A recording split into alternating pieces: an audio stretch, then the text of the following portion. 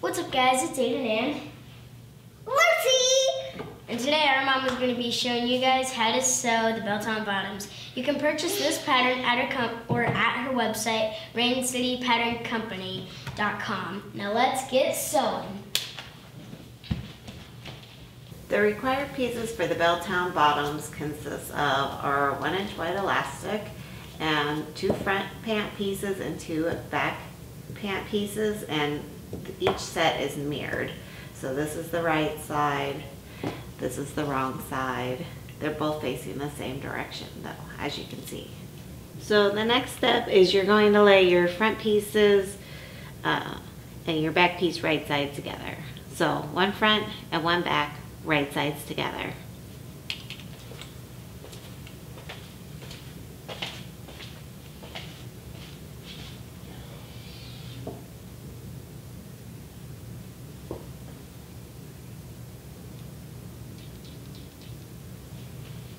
And now you're gonna sew from here all the way up and then you're gonna repeat on this side, lining up these raw edges and sewing all the way up to right here where the crotch seam is. Now that the pant legs are sewn, we're going to hem them. So what you're gonna wanna do is you're gonna want to turn the hem up a half inch and then another half inch and sew it. Or you can turn it up one inch and sew it. You can do it either way. Now that our pant legs are hemmed, we're going to take our pant leg that's right side out and we're gonna insert it into the pant leg that is inside out. So, and we're gonna line up the rise.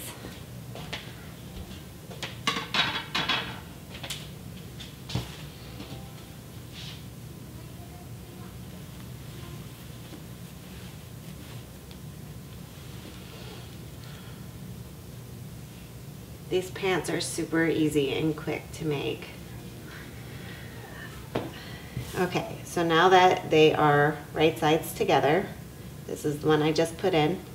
This is the outer one. We're just gonna line up the rise here and here, and then the back, and we're just gonna sew this using the serger or stretch stitch.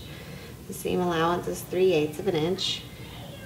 Then after that, all we have left to do is our elastic. So here my rise is sewn, and now I just need to turn these pants right side out.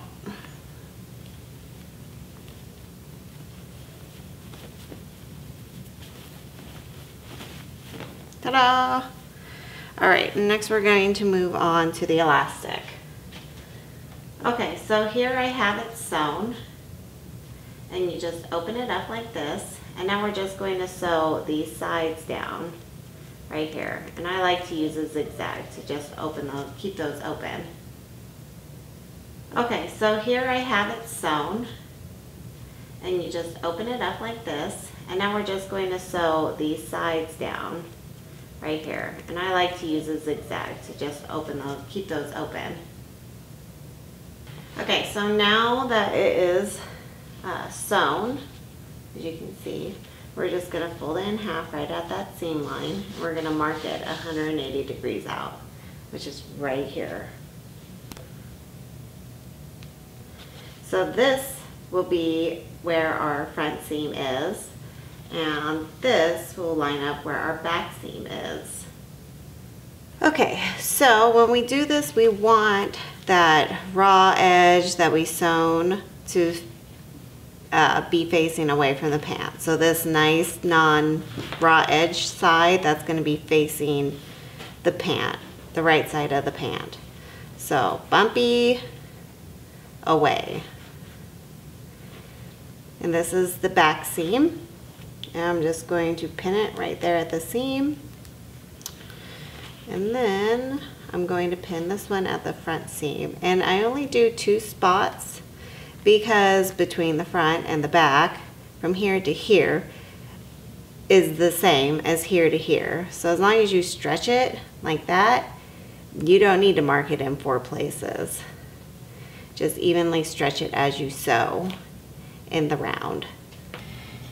Okay, so we're gonna wanna sew this in the round. So I'm at my serger right now. This is my back. And I'm just going to take my pin out raise my foot, I'm gonna put it under here like this and put the foot back down. You can do this on your sewing machine also and you're gonna wanna use a zigzag stitch or some other stretch stitch for this because it needs to stretch around your waist. So you just wanna keep those raw edges lined up. Like that.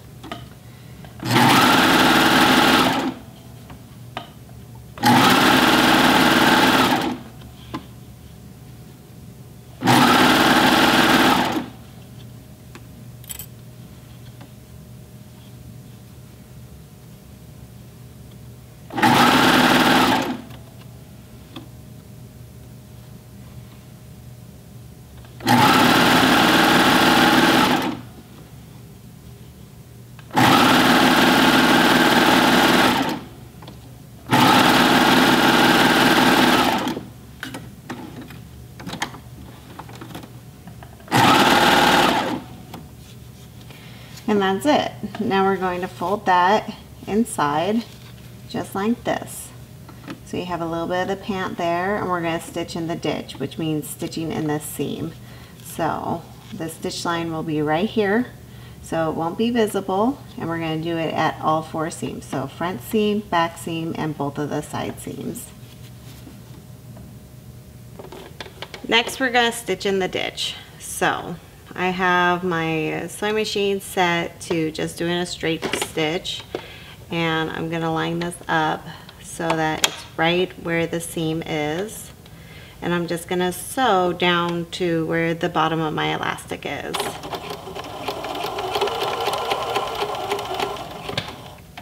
And then back stitch.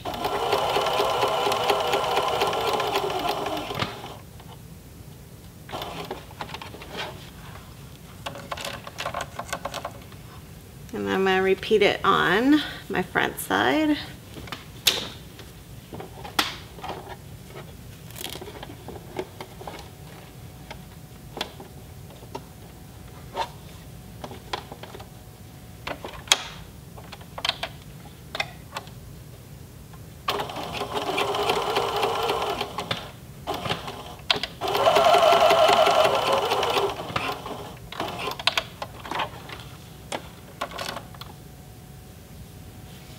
Then my side seams. So you just want to make sure that that side seam is pushed to one side, otherwise it'll be really bumpy.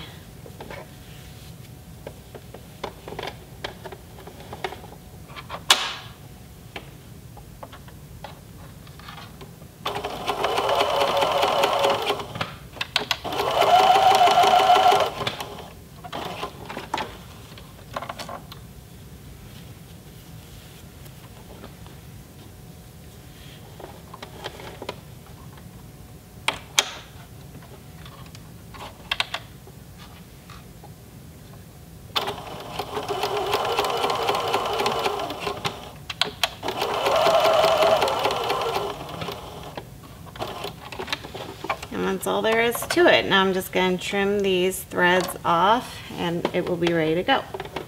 So that's it. Your pants are done. And if you would like to do a waistband that's more like a yoga waistband, there's a blog on my website, raincitypatterncompany.com, that'll show you how to do it.